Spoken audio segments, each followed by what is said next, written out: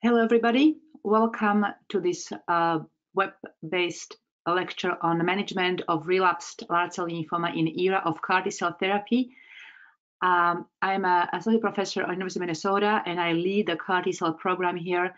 Feel free to uh, send me the questions when you click on a question mark icon. You can type the question, and we can uh, re uh, review those at the end of presentation.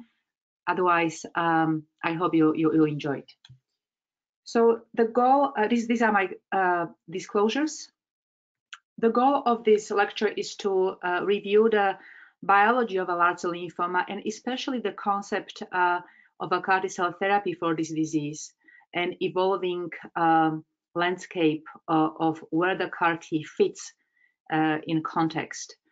Uh, I am going to review uh, and I want you to learn the indications for CAR T-cell therapy for patients with aggressive B-cell lymphoma.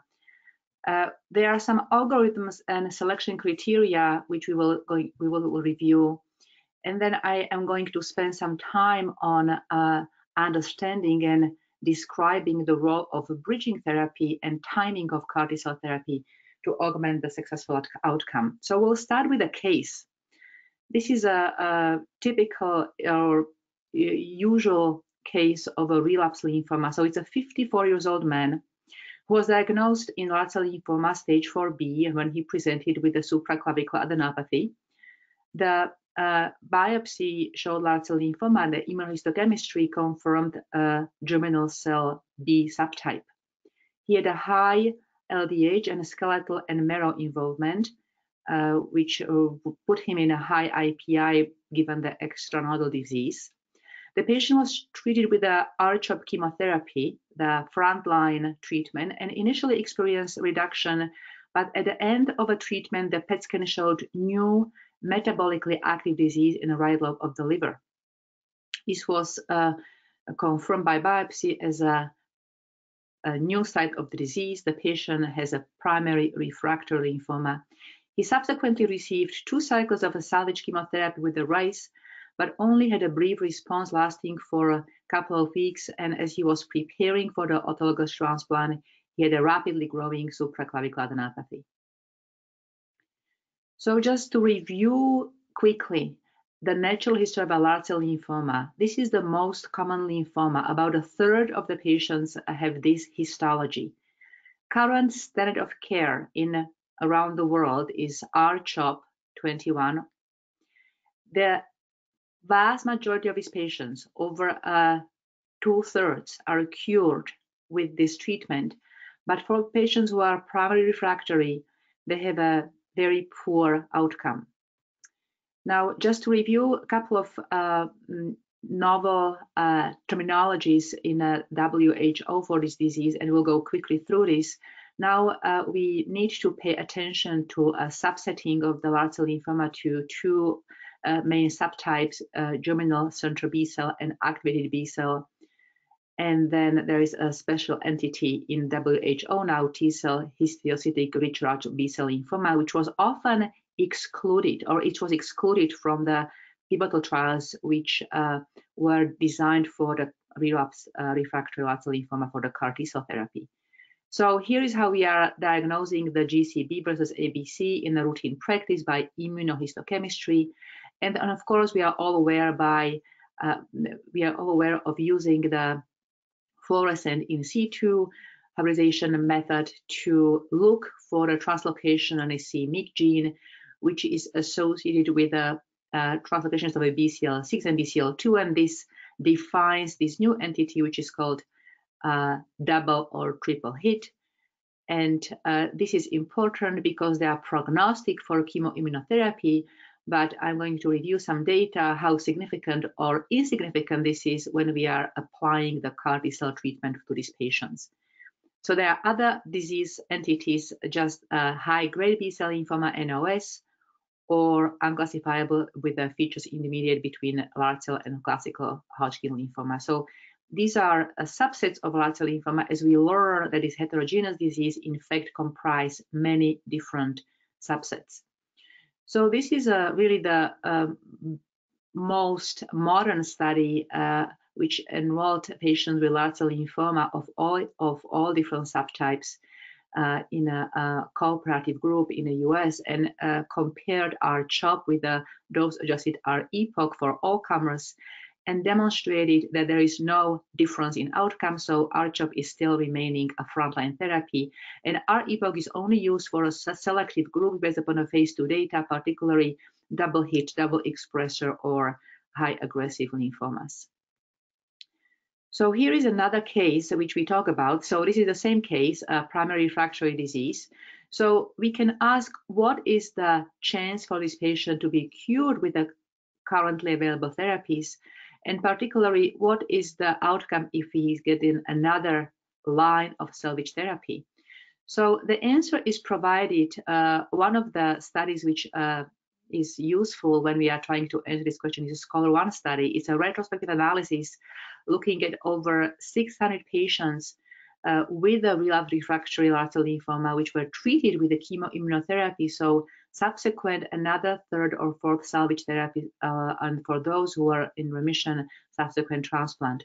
So that uh, population which was uh, studied in this cohort are patients who had a frontline therapy and were refractory, those who had relapsed disease and received salvage, but again had, had uh, aggressive disease or stable disease, or those patients with autologous transplant and relapse less than 12 months.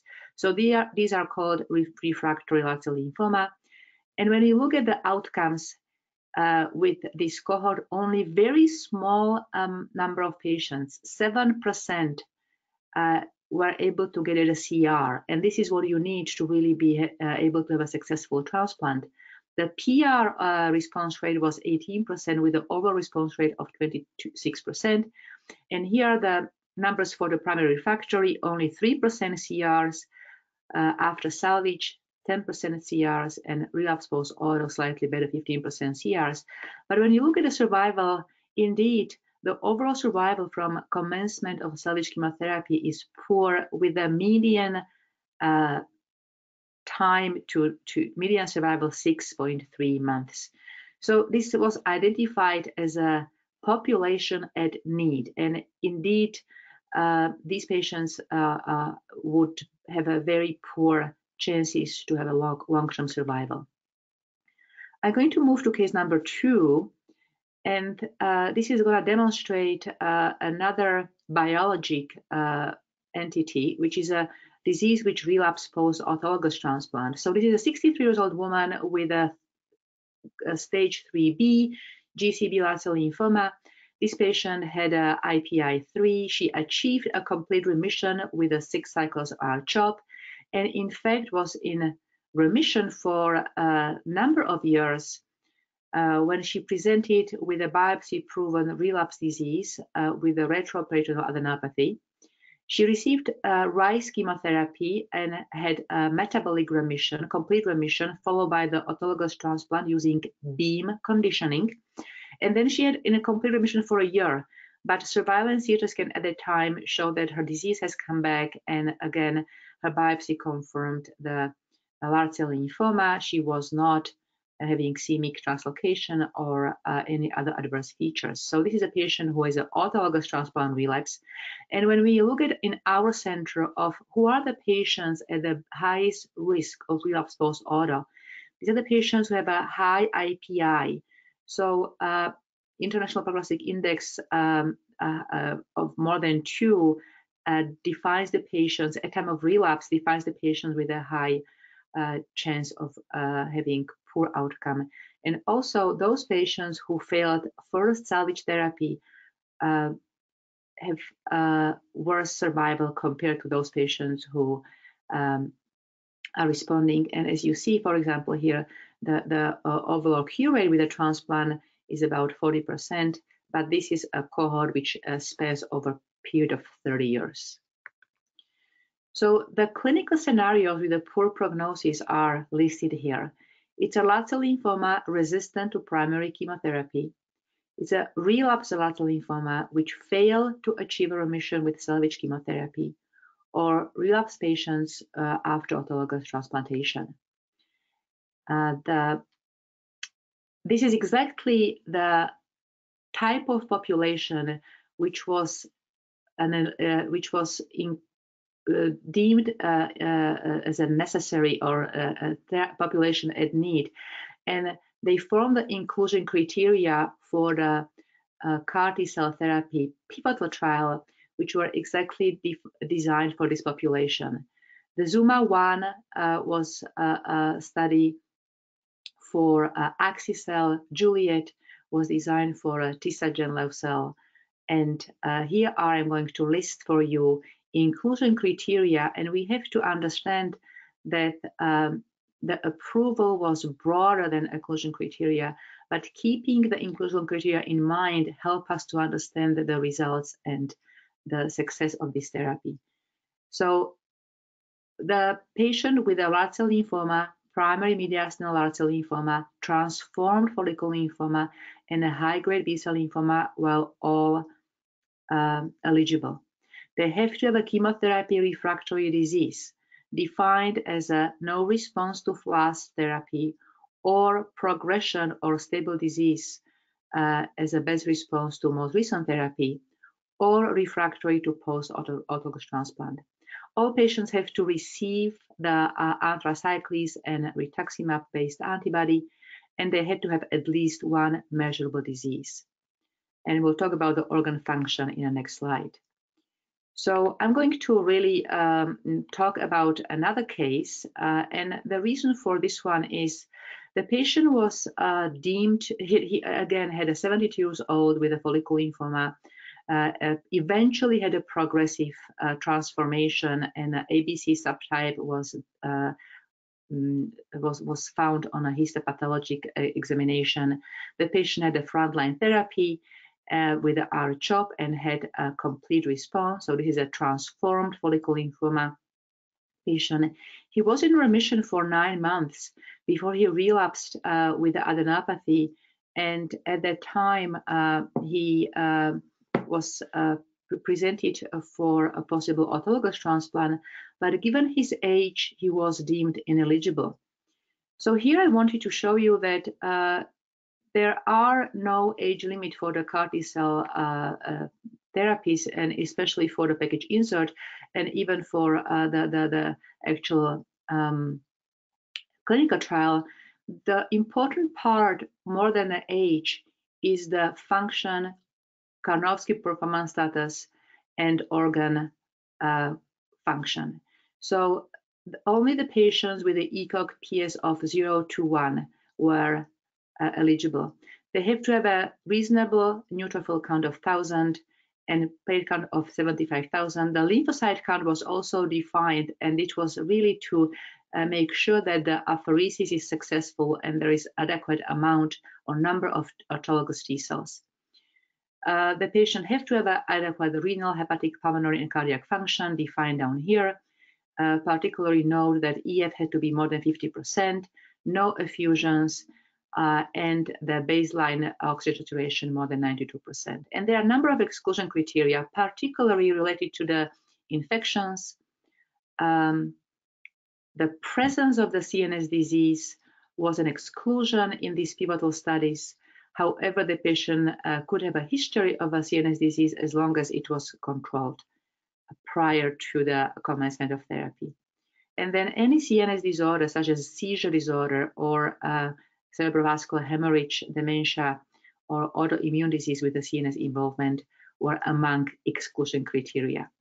I want to point out that uh, HIV, hepatitis B and C, all there, uh, these were initially an exclusion, but uh, I think these diseases are now uh, controllable quite well with the antiviral therapy. So, for example, we were able to treat even patients with HIV uh, successfully.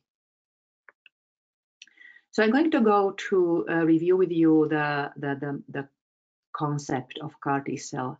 So this is a type of autologous cell therapy. We engineer the patient's own T cells to recognize and attack cancer cells based upon an expression of a synthetic receptor on a surface. And that's here. Uh, sorry, that's here. The synthetic receptor is the CAR, chimeric antigen receptor, targeting CD19 in this case. uh, the synthetic receptor is on always on position uh, upon the ligation of the CD19, and the CAR redirects patient's own T cells to kill the target tumor cells. This uh, signaling is also mediated through the uh, three so so three domains. There is a antigen binding domain. There is a co-stimulatory domain, which is absolutely necessary for function of these cells and allows ex in vivo expansion. And then a domain which is signaling into the T cell to uh, activate T cells to to make the cells to proliferate and to secrete the cytokines and the um, uh, the, the, the, mechanisms uh, to which which eventually kills the B lymphoma cell. So this uh, uh CAR T cell uh, product is uh, turn in a turn-on position, providing supraphysiologic signaling to the T cell, which really results to a, a toxicity profile which has been observed with this therapy. So how does this work? The patients are uh, referred to the uh, center and uh, identified as a good candidates for this therapy. Uh, they undergo apheresis where the T cells are isolated from the patient. The T cells are ex vivo um, engineered uh, by viral transduction using either lenti or retroviral to express CAR T cell on the surface. Then they are uh, expanded uh, in the laboratory in a manufacturing facility and they're grown and eventually uh, are sent back to the center. The patients in the meantime uh, can receive some lymphodepleting chemo, lymphodepletion chemotherapy and then cells are infused to the patient. So here is the road to remission. The, there is a, a, time between apheresis and uh, lymphodepletion when the cells are being manufactured, which vary from product. It can be anywhere from 16 to 24 days. During this time, the patient may or may not require uh, a bridging therapy, a therapy where the goal is to stabilize the disease, prevent uh, rapid progression, and allow the patient to uh, have be at the optimal stage at the time of the cell infusion.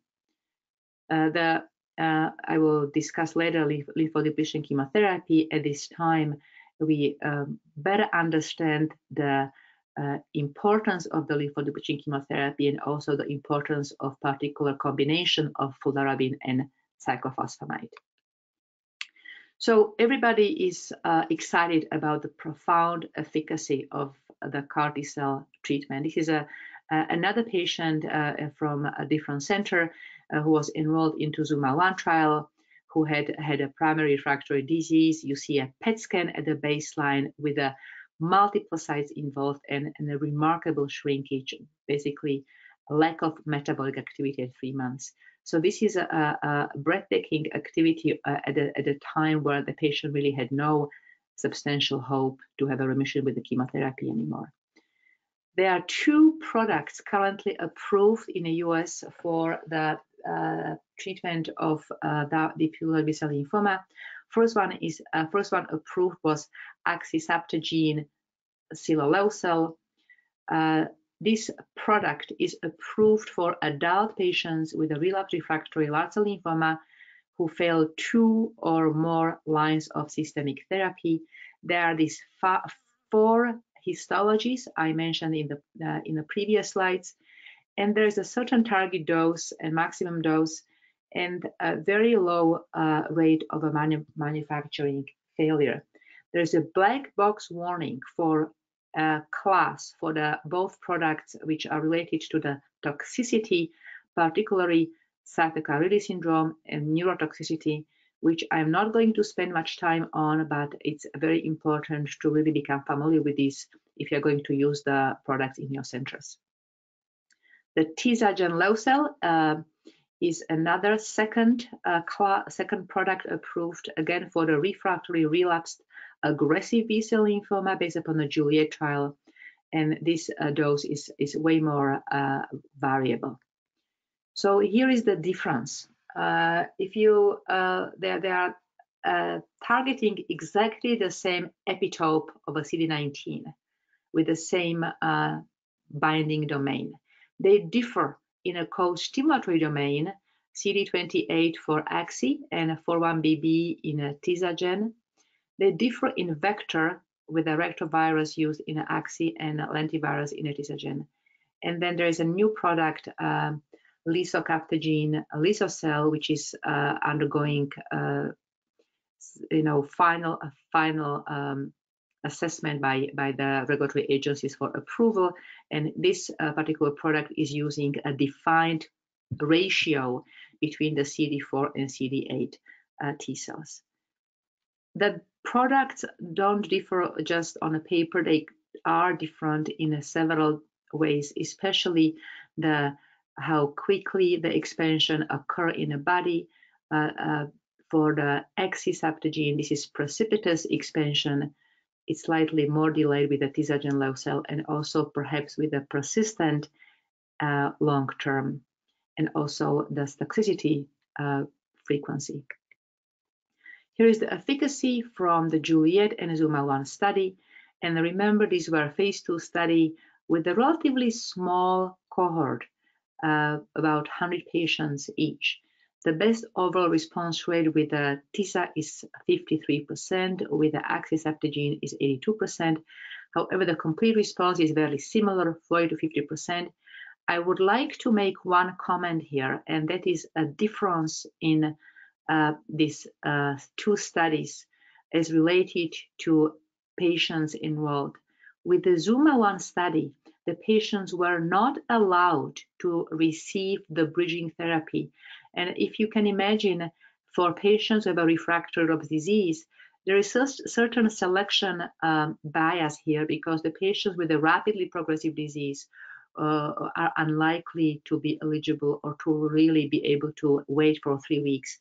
Uh, unlike Juliet's study, where almost two-thirds of the patients uh, received the bridging therapy in between the uh, apheresis and treatment.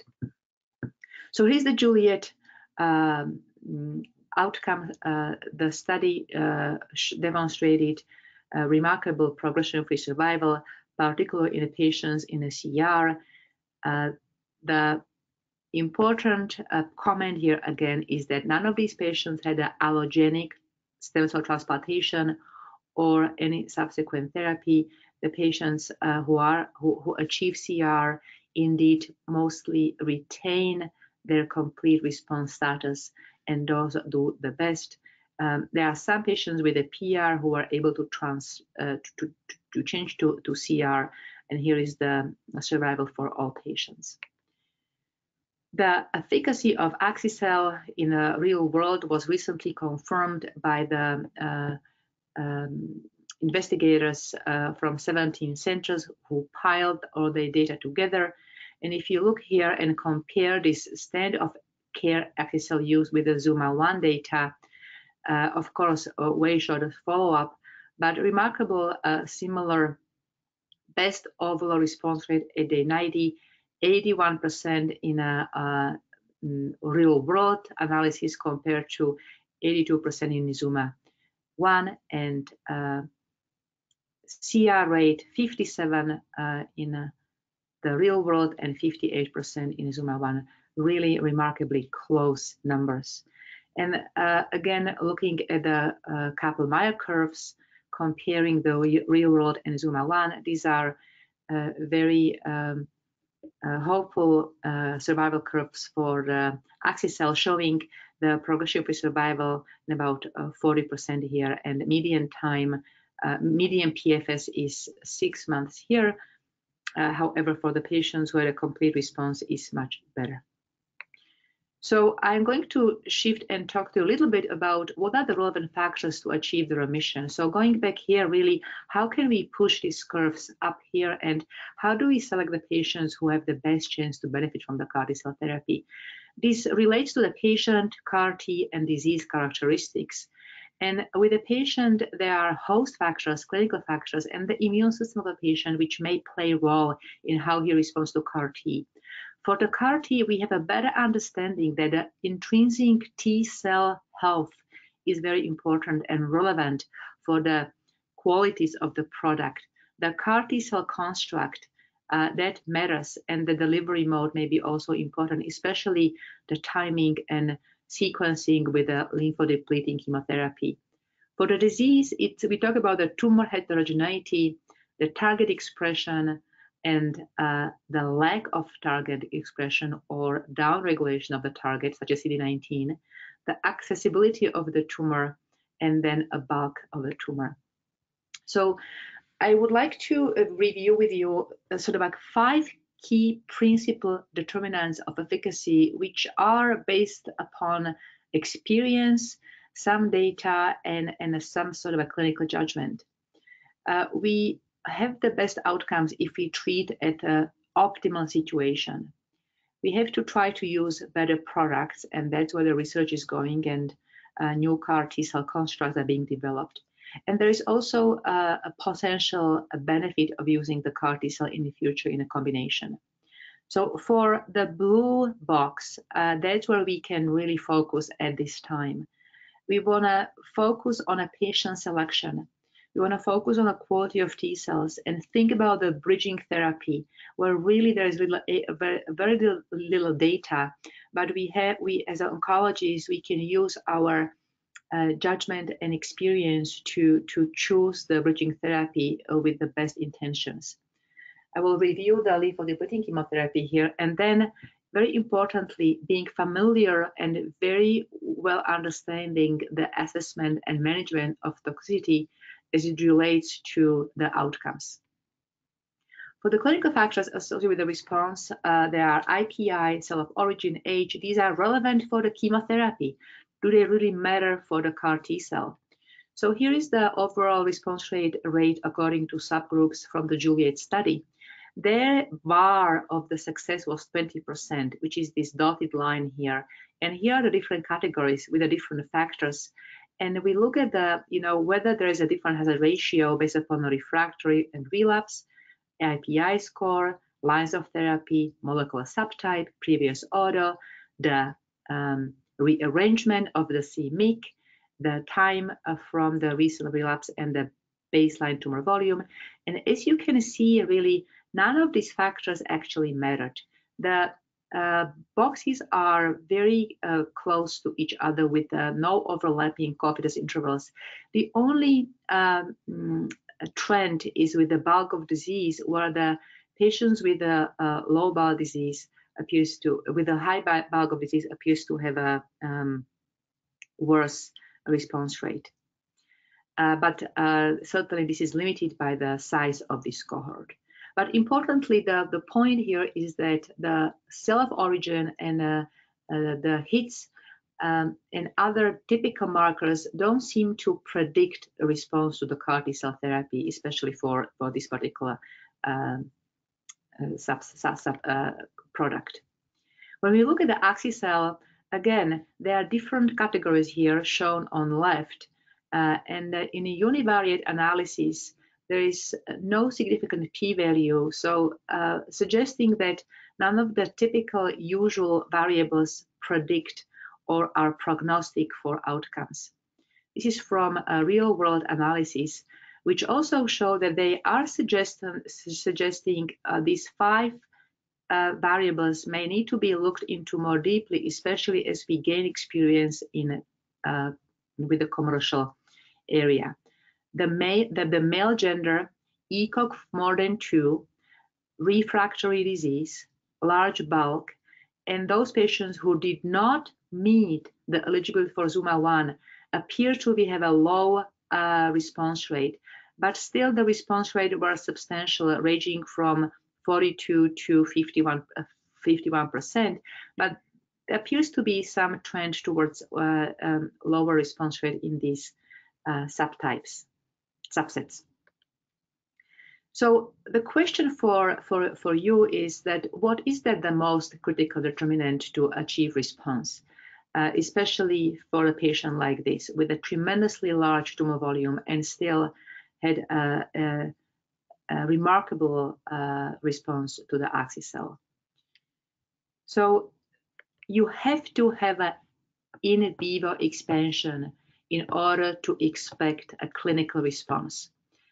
This is the most important, and for the patients who have a high expansion are more likely to respond. This is a, a PK data, the percentage of the CD19 CAR T cells per peripheral blood mononuclear cell in a, in a six patients illustrated here uh, with a rapid expansion in the first two weeks with a relatively quick decline and the persistence over a period of many months in most patients.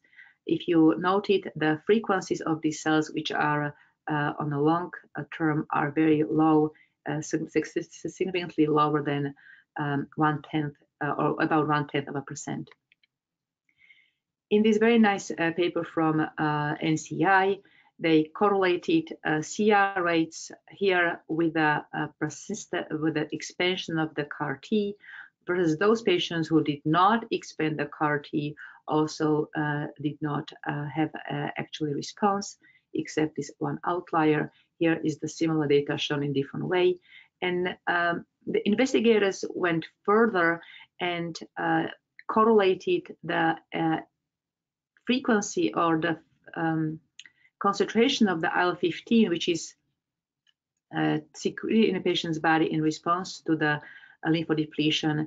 And as you see, it's very variable. The IL-15 peak is very variable in these patients. However, uh, the high peak of IL-15 clearly associates with a, a CAR peak, uh, as shown here, and that uh, this also reflects that patients had a complete and partial response have higher uh, concentrations of the IL-15 compared to those who don't. So what really uh, determines then the IL-15 expansion, uh, the IL-15 secretion? Uh, this is a study from uh, Fred Hutch trying to answer this uh, question, which relates to the lymphodepleting chemotherapy. And I'm just going to focus on this lower panel, please. So this is the expansion of the CAR T in the patients who receive flu-cy versus those who did not receive fludarabine but had some other chemotherapy. And uh, these are the medians with the uh, confidence intervals, and you, and you, you, see the best expansion of the CAR T cell is uh, seen in those patients who receive fludarabine cytoxan uh, chemotherapy, which leads to lymphodepletion. And I'm going to skip this and just show you really what what is the current thinking about the role of a conditioning therapy and Cy-Flu and how it helps with the cell expansion. So uh, are very lympholytic. They lead to lymphodepletion of the T, B, and NK cells, and they also eradicate the immunosuppressive cells such as Tregs and myeloid-derived suppressor cells. They also potentially modulate the tumor with the increased expression of the co-stimulatory molecules. But the most importantly, in my opinion, this lymphodepletion leads to a removal of the sink for the cytokines. So no lymph lymphocytes, there is nothing to attach to. The cytokines levels go up and the CAR T cells can use those cytokines to grow. So the cytokines levels IL-7 and IL-15 lead to increased expansion, function, and persistence of the CAR T cell, especially upon their recognition of the target. So if there's a favorable cytokine profile, then we can have a better outcome uh, and a higher uh, CR rates as opposed to uh, unfavorable cytokine profile where we have a significantly lower CR rates and a lower PFS. So we talk about uh, uh, the, the mm, lymphodepleting chemotherapy, and um, I like to move on to talk about the bridging therapy here. There's always uh, a lot of questions about what are the useful bridging regimens, and there is really not a defined strategy or well um, one patient fit all approach. It has to be individualized based upon what patient had previously, but these are some regimens which are uh, currently being used. We sometimes use a single agent chemotherapy, particularly Cytoxan or gemcitabine. The GDP can be used since it's uh, relatively well tolerated.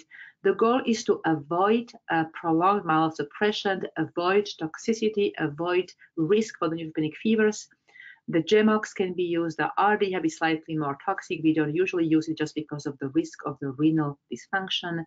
RICE, most patients already have the RICE, so it's also less frequently being used. We very often use localized radiation therapy for patients who have a one side of the disease which is the most rapidly growing. And we work very closely with our radiation oncologist. Occasional corticosteroids can be used, but they have to be stopped uh, three days prior to the cell infusion. And then for a non-GCB um, subset, uh, occasional ibrutinib or lenalidomide can be used to try to control the disease, uh, since the remissions here are often partial, but, but can be effective. So here is the algorithm for selection of a cell therapy in a patient with aggressive B-cell lymphoma. Here are histologies. The patients who are transplant eligible uh, uh, with a relapse disease, if they are, if they are certainly, if they are chemosensitive and they have a response to uh, second line therapy, they move to auto. And here, uh, the CAR T cell would be indicated for patients who relapse after autologous transplant. However, for patients who have no response to second line therapy, here is the CAR T um, box, which uh, really should be used for the patients uh, as opposed to you to, to consider another line of a chemoimmunotherapy. For the uh, primary refractory patients, they would be transplant ineligible. Again, they can get a second line therapy, but if they have a refractory disease, uh, they would be transplant uh, uh, CAR T eligible and get a CAR T cell therapy. If they have uh, they, they, for some reason can be uh, CAR T ineligible, of course, we are always want to prioritize clinical trials. So here's how it looks in our center, the journey to CAR T cell therapy. We are operating through the BMT, given that apheresis and manufacturing facility is closely tied into BMT uh, programs. The patient has a consult with a cell therapy expert who assess the candidacy for CAR T cell therapy, and uh, we pursue the prior authorization. Uh, soon afterwards, the patient underwent the T cell collection Typically, we don't use a central line. Uh, most patients, in fact, are able to collect the cells through the peripheral IV. And for the um, axi-cel, we use fresh fresh apheresis for the uh, TISA, sorry, for a um, TISA, TISAGEN, you can frozen your apheresis product uh, while you are working on, on a, the shipment. The manufacturing is off-site, uh, where the T cells are reprogrammed and at the time, we individualized and we use bridging therapy. In about 16 to 21 days, the CAR T cell uh, arrived to a center. The patients receive lymphodepleting chemotherapy, usually outpatient, and then we admit the patient to the, to the hospital for CAR T cell infusion and keep them there for about a week. There is a need for a very, very close monitoring, especially uh, for the first 28 days, the patients need to stay close to the center within a 30 minutes of a drive, just because the toxicities are sometimes rapidly progressing and they require a very vigilant monitoring and therapy. These are mostly related to CRS and neurotoxicity, and I'm not covering those here, but it's very important to, to be aware. Uh, another toxicity is B-cell aplasia, cytopenia, stomatitis syndrome, and of course, uh, some um, uh, infusion immune reactions. So in the US, the CAR T cell are restricted and, cert uh, and only administered in the centers which are certified uh, based upon a risk and evaluation mitigation strategy. And it requires to have a tocilizumab on site, two doses for each patient. The patient needs to be uh, aware of the toxicity and agree to the treatment we need to uh, have a developed uh, system where the patients are assessed daily for toxicity and admitted to the hospital for management if they develop high grade CRS. So to conclude, um, I hope that I uh, was able to, to, to show you some um, or convince you about the, the utility of a CAR T cell therapy in the context of uh, currently available other treatments as, as this therapy truly has a rapid response rate and improves survival in patients with refractory relapse disease. Uh, CRS is a serious toxicity, and I think that we have to learn more. There is absolute necessity to continue to study the CAR T cell uh, in a, a research and also commercial setting to advance these treatments to allow us to use them in a more in a, more uh, selective mode and in a safer uh, platform. So here is um, the end of my presentation. I thank you for your attention and I'll be happy to answer the questions.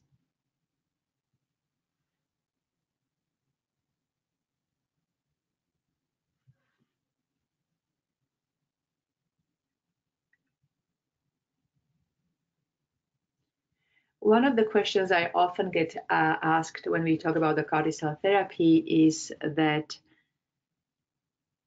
um, whether how do you select one versus other? There are two commercially uh, approved products for very similar indications. So that's a, a, hard question. There is really, in my opinion, not a clear answer. Uh, the decision is based upon uh, the availability of a product in your center, experience, the level of comfort. The um, uh, Yescarta is uh, sometimes associated with a more rapid development of the CRS, and perhaps for patients who have uh, some comorbidities uh, may uh, have a high risk of uh, having complications if they develop CRS. the other um, interesting um, point is the patient with the HIV, for example, uh, we were able to treat them with the Axi cell uh, and and not with the Tisagel. But otherwise, uh, the really selection uh, of the product uh, is based upon a internal comfort level. And I, I don't have specific recommendations.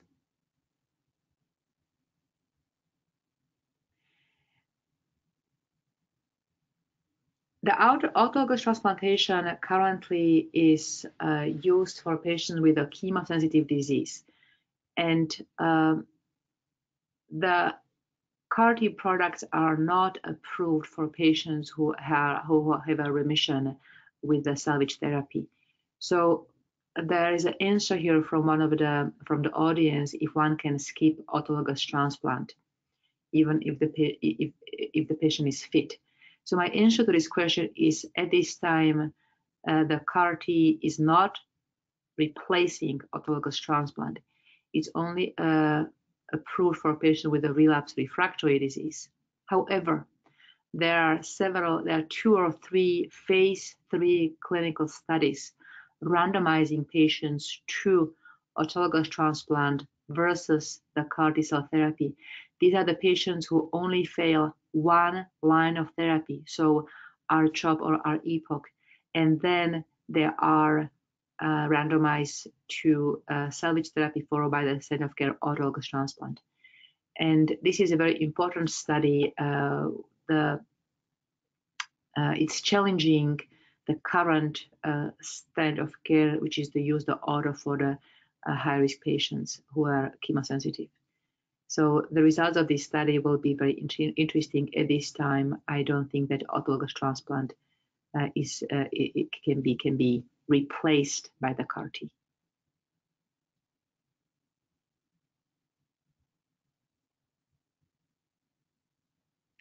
I'm waiting whether there are any other questions coming from the audience.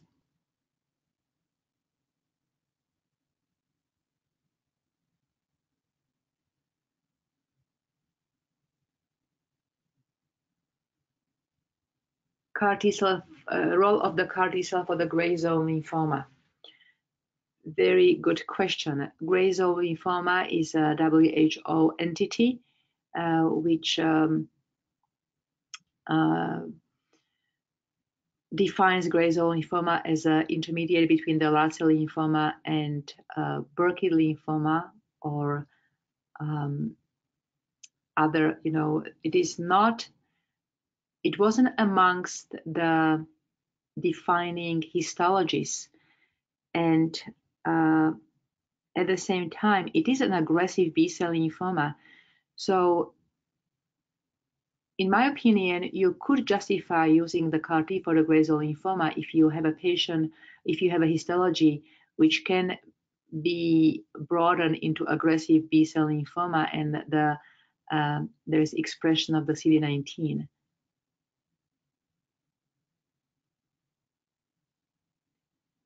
The aggressive B-cell lymphoma category, which is in the package insert, can be interpreted more broadly than just the diffuse large B-cell lymphoma. So I do I do agree that gray zone lymphoma can be in this category. I'm not aware of any anecdotal reports or specifics whether uh, any patients were treated with this pathological histology.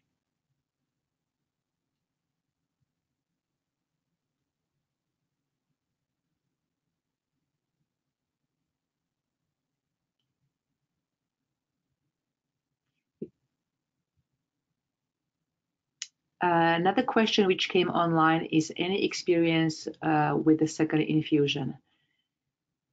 Yes, uh, there is experience using second infusion uh, from several centers reported their, their, their uh, results and their findings.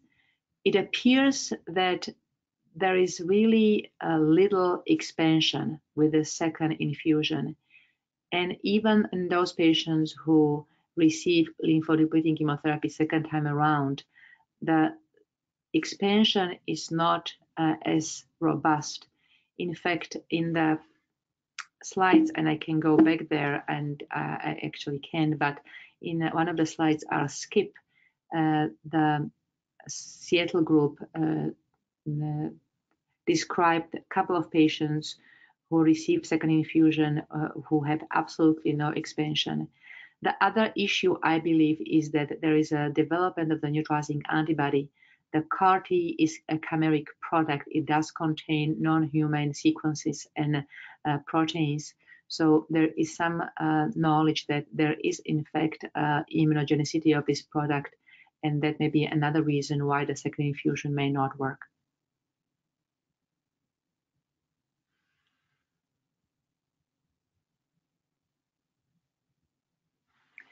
Uh, another question came online. In your experience, do you think that a patient who uh, is not autologous transplant eligible can go through a treatment with a CAR T without major risk than a patient not eligible? So the question is asking whether uh, the patient who is ineligible for autologous transplant potentially can go safely through the CAR T cell therapy. I think that um, it is less toxic in some ways than autologous transplant. And if you prepare this patient well, that uh, the patient may be uh, well benefited from the CAR T cell therapy. It depends why he's ineligible for a CAR T, for transplant. If it is age only and the patient has a normal EF and normal cardiac function, normal kidney function, and his functional with a good ECOG performance status, then I would uh, for sure encourage him to pursue the CAR T-cell therapy. However, if the patient has a major organ compromise, uh, particularly related to the heart or lungs, that may uh, not be a fit patient for the uh, CAR T.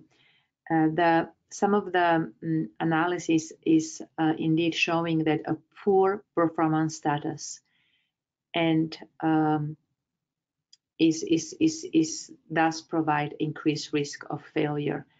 And this is related to the toxicity, which is uh, manageable in a healthy patient, but patient who has a compromised organ function even a CRS and a fever 104 for three days can lead to a substantial morbidity uh, and uh, can be life-threatening.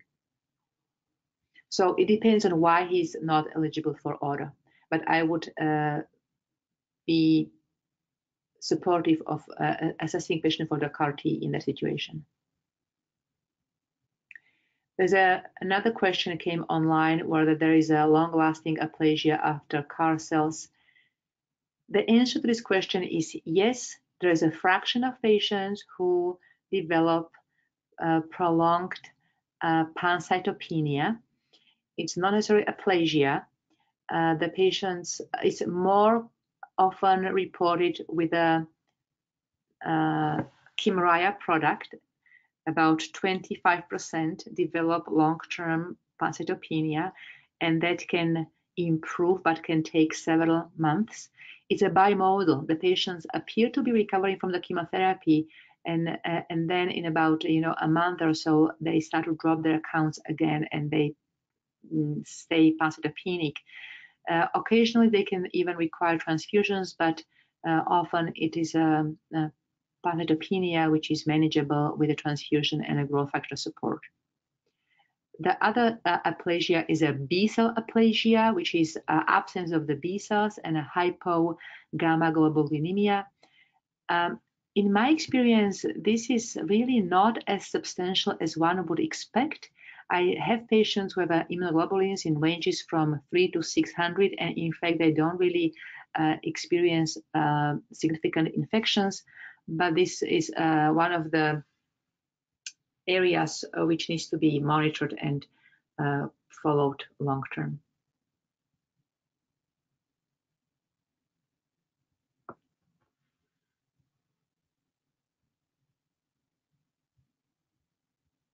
Well, thank you so much. Uh, I appreciate everybody's attention. Thanks for the questions, and I wish you a great day. Bye-bye. We are done with the webinar.